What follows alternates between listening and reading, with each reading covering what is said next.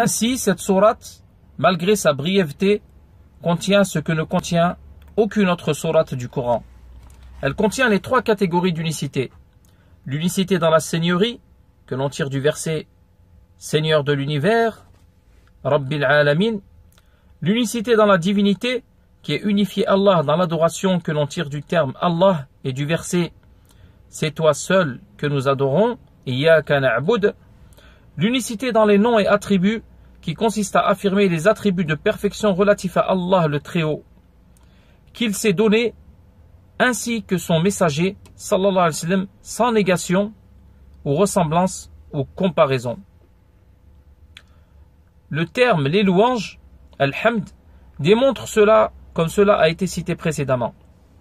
De même qu'elle contient l'affirmation de la prophétie dans sa parole, guide-nous dans le droit chemin, sirat al-mustaqim, ceci étant impossible sans message.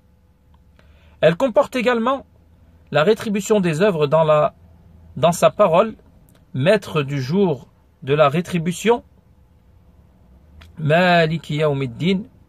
celle-ci étant juste car le terme din signifiant la récompense équitable.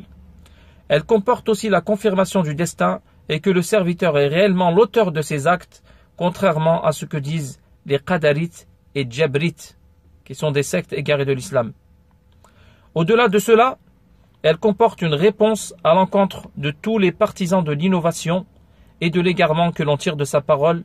Guide-nous dans le droit chemin, al-mustaqim, qui consiste à connaître la vérité et à l'appliquer. Or, tout innovateur est égaré et non conforme à cela.